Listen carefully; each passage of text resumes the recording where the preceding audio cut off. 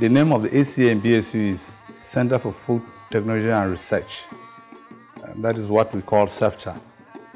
And it's basically for prevention of post-harvest losses. It's been shown repeatedly by publications and through research that more than 30 to 60% of all foods that we produce is lost due to poor post-harvest handling. And therefore, we consider that this is a very serious problem that needs the attention of all that are concerned with food security around the world. The aim of the project was to train manpower, MSc and PhD, to solve the problem of post-harvest losses. We suffer a lot of wastage this year. So the CEFTER mandate is to see how we can control that. Maybe by value addition, preservation. We insist that whatever project that is coming up, you're either processing or you're adding value. And all those things are issues that can help us in mitigating post-harvest losses. We have been able to engage researchers both in West Africa and in Nigeria in particular in the area of post-harvest losses and they have been able to identify a lot of technologies that we are now using to help farmers to improve shelf life of their crops. One of our basic problems with agri-produce is that of uh, drying. The method that are used here for drying, they are local methods, uh, which are, I consider to be very unhygienic and unprofessional. First, we consider issues of a system that would work for that. And then we came up with the, the system you are seeing here.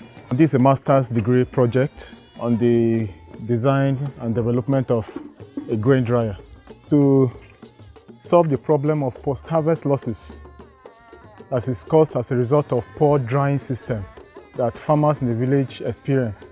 If you go to the rice mills, this technology would be a breakthrough for many businesses beyond farmers. I came up with uh, this freeze dryer. It uses low temperature for drying.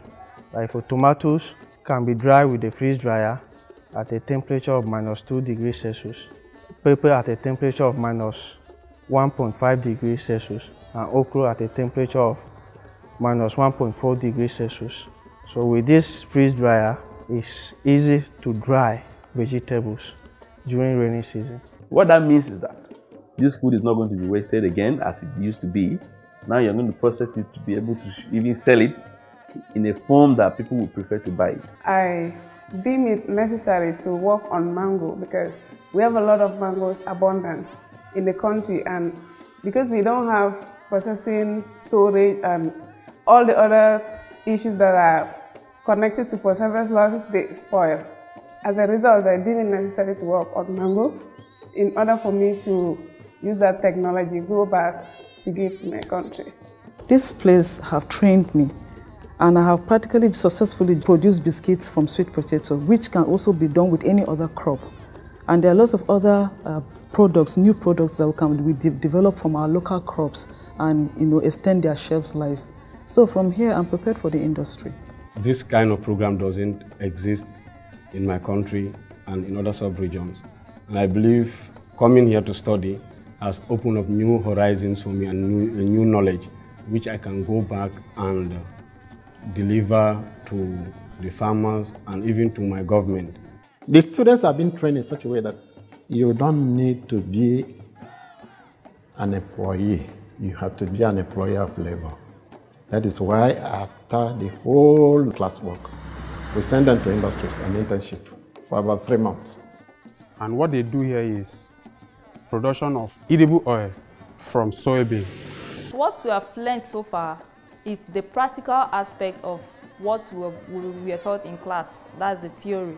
Because we were taught the method of extraction, which the one they use here is solvent extraction method.